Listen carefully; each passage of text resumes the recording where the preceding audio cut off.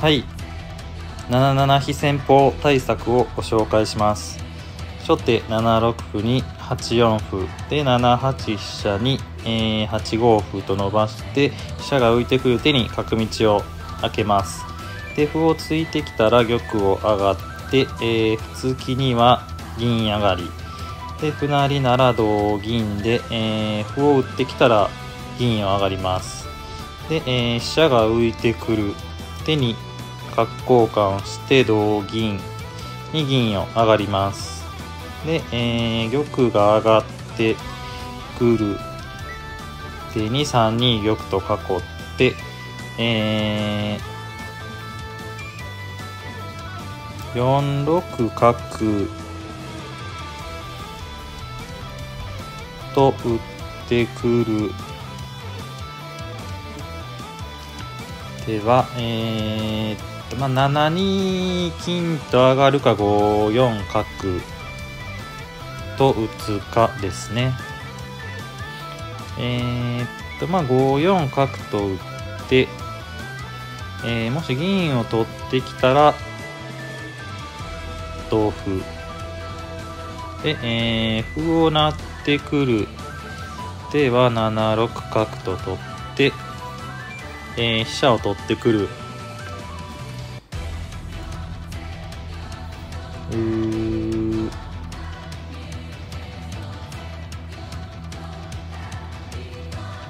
手に、えーとまあ、6七角となるか、えー、4四角3三角あたりですね、まあ、3三うん角と打ってえー、桂馬を取ってくるか香車を取ってくるか。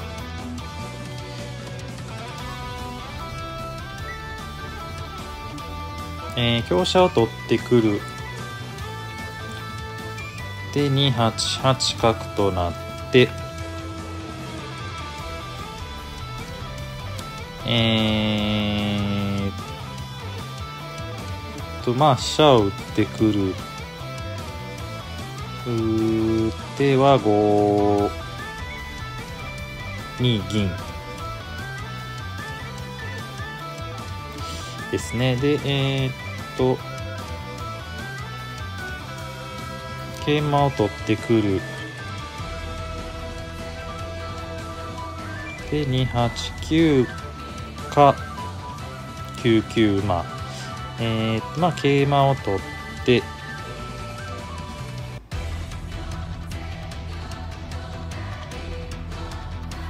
えー、香車を打ってくるのは、えーと、6七馬で詰めろですね。で、えーと、金が上がってくるのは同馬同金同角成同玉で、えー、飛車を打っていけば寄りになります。えっ、とまあ銀を打ってくるのは飛車を打って、えー、受けてくる手は同馬同金で同飛車成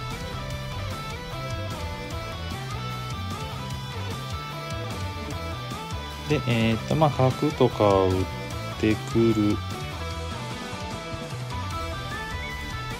手は、えー、5六桂ですね。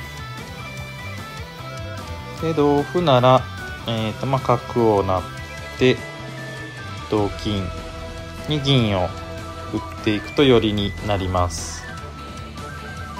まあ、玉を逃げるのも角をなって、で、まあ、同金なら同竜。で、これもよりですね。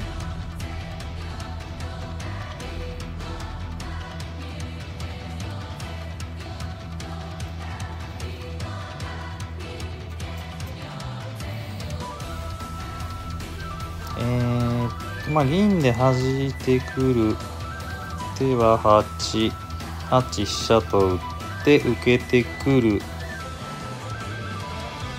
手は7七歩ですね。でえー、っと銀を打ってくる手に飛車を打ってえー、まあ攻めてくる手は6七馬。で小生になります。えー、とまああとは香車とかで受けてくる手は7七歩と打ってえー、っとまあ桂馬しか持っていないので小生になります。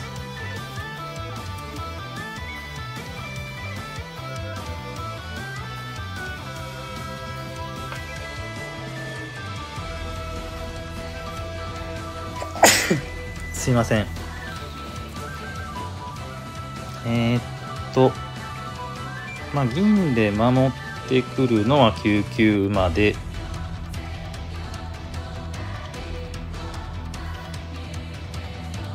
えー、まあ桂馬を取ってくる。では9八飛車。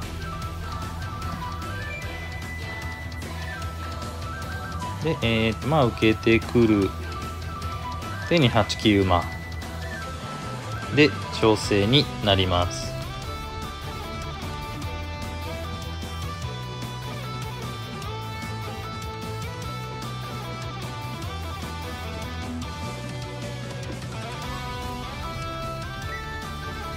えー、っと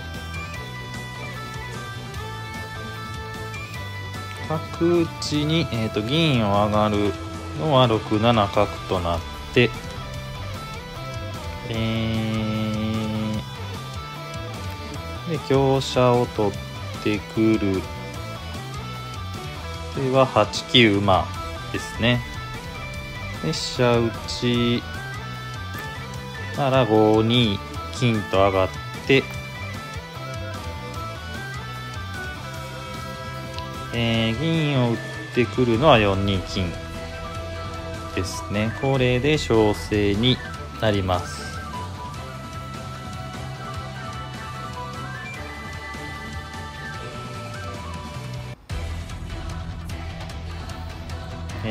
と銀を打ってくるのは4五馬と引いて、えー、香車を取ってくる手に7三桂。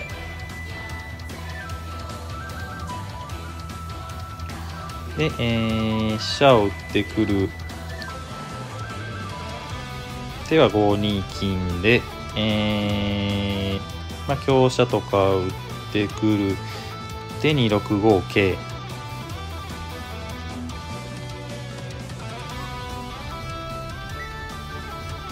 香車をなってくる。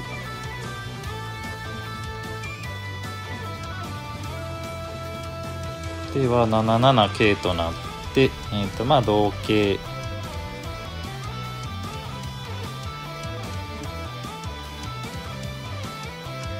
に、えー、と7六と打って、えーとまあ、成香が寄ってくる手に4二金。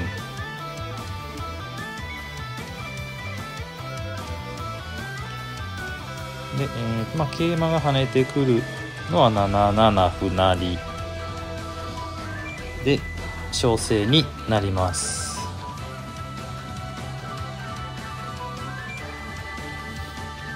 えーとまあ銀をかわすのは9九角となってまあ香成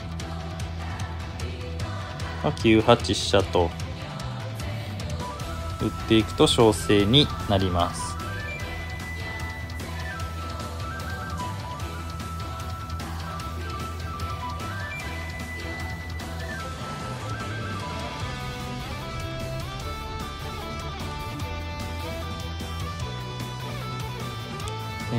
まあ、桂馬が跳ねてくるのは角をなって、えー、っと、まあ、桂馬の方を取ってくる。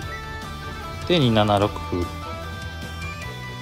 で、これも小正になります。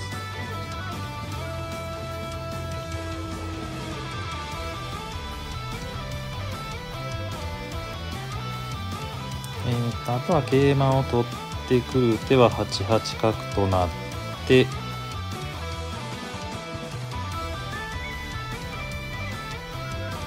えー、まあ飛車打ち。は、えー、まあ5二金と上がって。えー、銀を打ってくる手は4二金で桂馬。